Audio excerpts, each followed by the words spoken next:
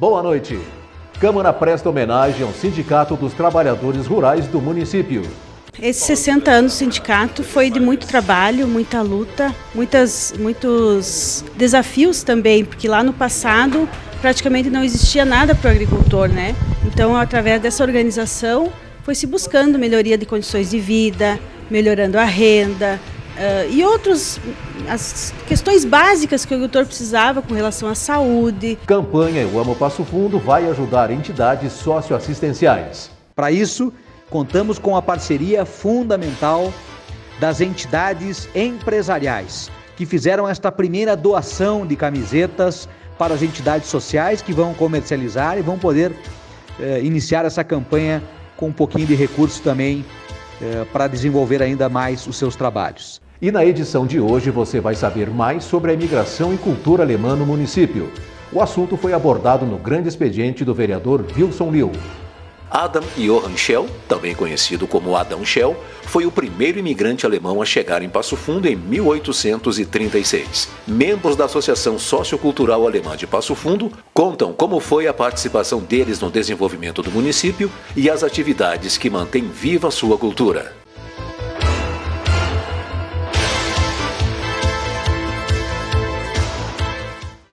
A Câmara de Vereadores realizou ontem uma sessão solene em reconhecimento ao Sindicato dos Trabalhadores Rurais de Passo Fundo pelos seus 60 anos de fundação. A solenidade foi uma iniciativa da mesa diretora da casa e foi aprovada por unanimidade pelos demais parlamentares. O presidente do Legislativo, vereador Evandro Meirelles, ressaltou a importância do sindicato na defesa dos trabalhadores rurais, inclusive dos pequenos produtores, com destaque ao trabalho diário da agricultura familiar e as dificuldades que enfrentam. A Câmara de Vereadores está prestando uma singela homenagem àquele homem do campo, aquela pessoa que produz a verdura, que produz aquele alimento saudável, com qualidade, que vem até a nossa mesa. Mas para isso tudo acontecer tem que ter um sindicato. E esse sindicato está completando 60 anos de existência, ah, trabalhando em prol das reivindicações dos nossos trabalhadores rurais que muito necessitam. Muitas vezes o sindicato recorrendo ao poder público para buscar algumas melhorias, algumas coisas em prol desse segmento que tem a mão calejada, com as mãos cheias de calo que produzem o nosso alimento. Aqui quero primeiramente deixar meus parabéns à nossa presidente Marinês, que faz um excelente trabalho frente a este sindicato que é muito importante para os nossos trabalhadores rurais. Claro, é um momento de festa, de alegria, e aqui parabenizamos o nosso sindicato e a todos os trabalhadores rurais por este, por este tempo que estão unidos, né? E trabalhando em prol do melhor aí da nossa cidade, mas também aqui aproveitando o ensejo, recebendo também as reivindicações dele, deles, que nós, poder público, legislativo, executivo, temos que ter um olhar especial e muitas vezes temos que dar uma olhadinha para as estradas, se estão bem empedradas, como é que está a infraestrutura para dar condições de trabalho para os nossos trabalhadores rurais? Daqui um pouco uma questão de assistência, né? um incentivo, um recurso para o homem do campo.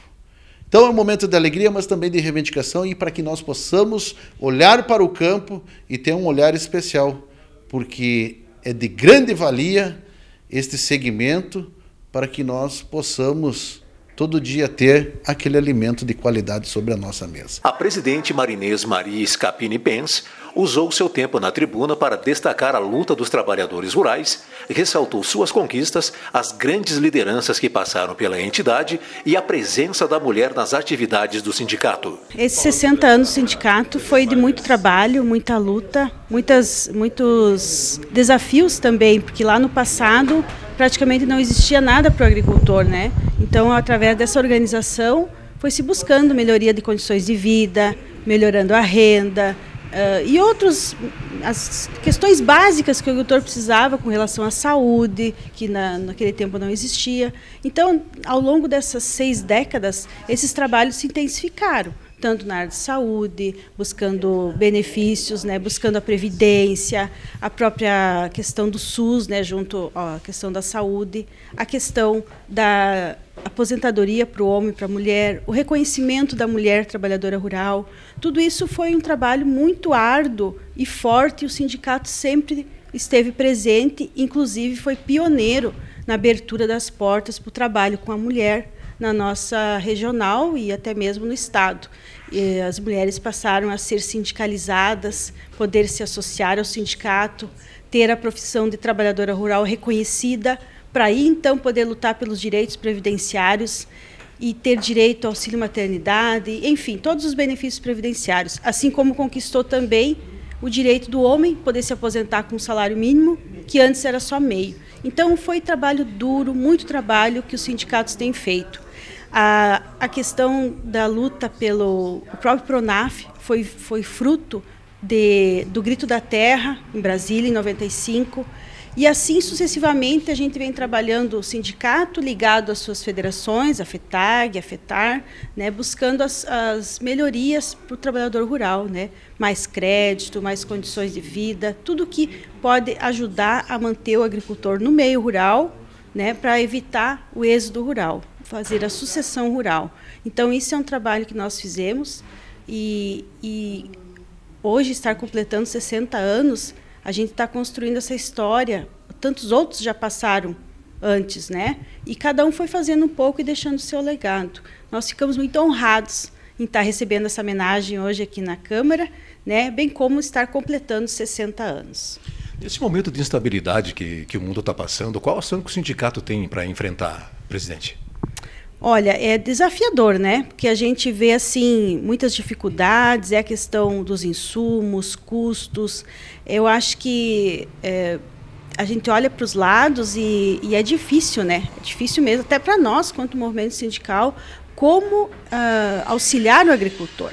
Até porque existem muitas, muitas informações e nem sempre elas são as mais corretas, as que estão aí né, disponíveis, né? E a gente tenta orientar sempre o agricultor com a informação correta, tudo que é verdadeiro, né? Busca sempre na fonte aquilo que pode ajudar.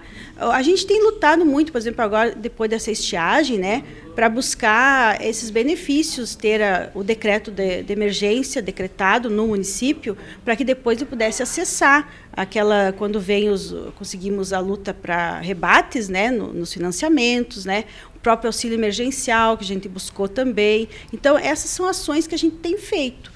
Né? E, e aqui no município, a integração junto com o poder público, com as demais entidades, sempre trabalhando ligados para poder uh, ver aonde que estão as necessidades do produtor. Né? Estamos aí sempre à disposição e procurando né, resolver. Né? Temos um, um, sério problema de infraestrutura no município, trabalhamos sempre junto ao poder público, junto com outras entidades. Né? Essas ações a gente tem feito para auxiliar os agricultores. Representando o executivo, o vice-prefeito João Pedro Nunes falou sobre a relevância do sindicato no município, destacando os 60 anos de atividades. A proposição da Câmara de Vereadores é homenagear os 60 anos do nosso sindicato rural, uma instituição que faz a diferença nos pleitos para os agricultores. 60 anos atrás, Passo Fundo tinha 105 anos. Aí tu imagina foi todo um preparo, uma luta, uma organização para criar o sindicato. Então, criou-se o sindicato, muitos avanços teve é, para a nossa agricultura, mas especificamente os seus associados, que são os agricultores, os pequenos agricultores. Nós temos que reforçar o papel das instituições na sociedade, né? O rito, a organização, o espírito associativismo, isso traz a segurança para a população, a segurança para os seus associados, mas também dá para a democracia o fortalecimento da democracia das instituições. Então, portanto, nós, como agentes públicos, apoiamos sempre as instituições, o fortalecimento delas. Né? E completando 60 anos de vida, é o reconhecimento da Câmara de Vereadores com a história do sindicato com a cidade de Passo Fundo. Parabéns, Sindicato Rural, parabéns, presidente Marinês, toda a sua diretoria, aos 60 anos do Sindicato dos Trabalhadores Rurais aqui da nossa cidade de Passo Fundo. No próximo bloco, você vai conhecer um pouco mais sobre a cultura e a imigração alemã. Nós voltamos em seguida.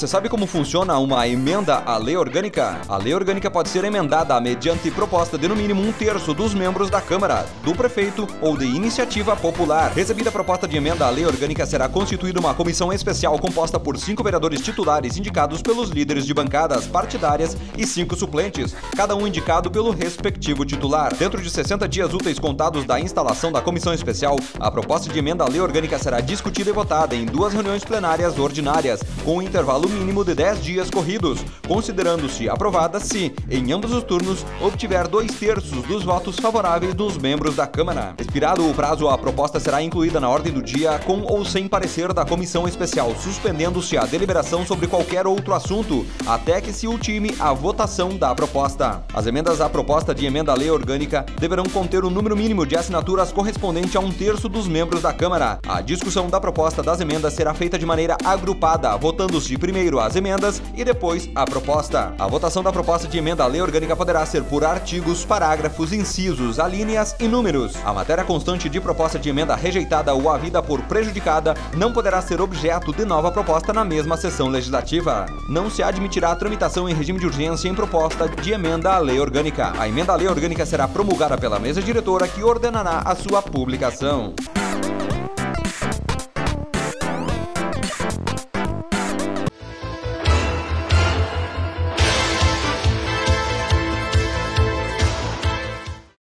A campanha Eu Amo Passo Fundo vai beneficiar as entidades socioassistenciais do município. Isso porque, com o intermédio da Prefeitura, as entidades empresariais destinaram mil camisetas com o slogan da campanha para 10 entidades socioassistenciais que farão a venda nesse domingo no Parque da Gari.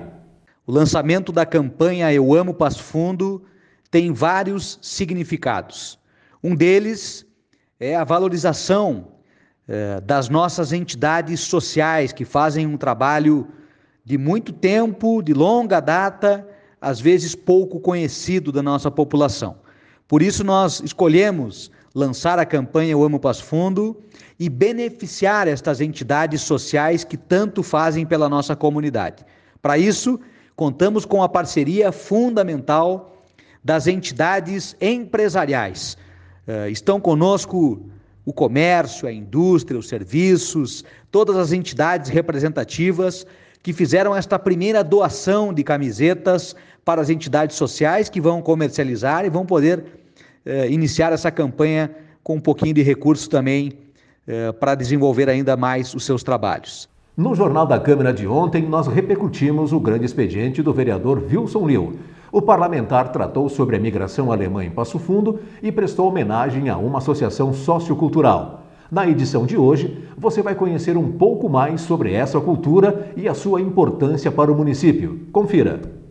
25 de julho de 1824 marca a chegada dos primeiros imigrantes alemães no Brasil. Eles chegaram ao Rio Grande do Sul no mesmo ano, na colônia de São Leopoldo, às margens do Rio dos Sinos. Adam Johann Schell, também conhecido como Adão Schell, foi o primeiro imigrante alemão a chegar em Passo Fundo em 1836. Membros da Associação Sociocultural Alemã de Passo Fundo contam como foi a participação deles no desenvolvimento do município e as atividades que mantêm viva sua cultura. Esta imigração alemã, ela foi muito importante para o Brasil, para o Rio Grande do Sul, e ela integrou então projetos sociopolíticos e econômicos da época para povoar o Rio Grande do Sul e produzir alimentos para as recém-nascentes cidades né, do Brasil e do Rio Grande do Sul, que, para a qual os alemães deviam então trabalhar e receberam certas condições para estarem aqui no Brasil. E depois deles, né, nos primeiros cinco anos, chegaram mais outros 5 mil alemães. Um contingente muito grande de alemães se deslocou ao, ao Rio Grande do Sul e, portanto, eh, compõem hoje a população, a cultura do Rio Grande do Sul. Uma das grandes curiosidades que todos nós temos é a respeito da sobrevivência deles quando chegaram aqui no Rio Grande do Sul onde realmente tudo era mata virgem. Então eles ganhavam do governo federal, eles ganhavam é, 40 talers, que hoje, é, através das pesquisas, pode-se dizer que é equivalente ao patacão que seria este aqui, que está bem gasto, é claro, e uh, seria esse patacão e que surgiu em 1830. Então, além desses 40 talers, que eles podiam então comprar eh, os gêneros alimentícios e também comprar gado. Além disso, eles ganhavam do governo federal, dessa comissão que foi formada, eh, duas, duas éguas, dois porcos, duas galinhas, uma foice, um machado e ah, uma coisa muito curiosa que chama atenção que eles ganhavam dobradiças e trincos para colocar nas casas, já que a madeira estava em todos os recantos. Lá pela metade da década de 1830, eles chegaram em Passo Fundo. Especialmente nos referimos a um casal chamado João Adão, ou Johann Adam Schell, e sua esposa Ana Cristina Schell. É, eles chegaram em Passo Fundo, é, ficaram aqui por um determinado tempo, mas por causa da Revolução Farroupilha acabaram se ausentando de novo de Passo Fundo, morando em outras regiões, inclusive em Montevideo. Retornando para cá, na, ainda na década de 30, se fixaram em Passo Fundo com uma casa comercial, a Casa Shell, né, que foi uh, localizada na atual esquina hoje da Avenida Teixeira Soares com a Avenida Brasil, onde hoje está uma farmácia. Inclusive nessa farmácia tem uma placa em homenagem ao casal que ali morou e ali que trabalhou como primeira, uh, primeira casa comercial da Vila de Passo Fundo antes da cidade. E a presença dessa família e depois de outras famílias eh, fez com que os alemães tivessem uma presença muito forte, marcante na, no, na vila de Passo Fundo, inclusive participando da emancipação de Passo Fundo, do município de Passo Fundo.